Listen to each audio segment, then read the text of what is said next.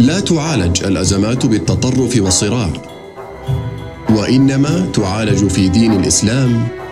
بالحكمه والموعظه الحسنه وحسن الاستماع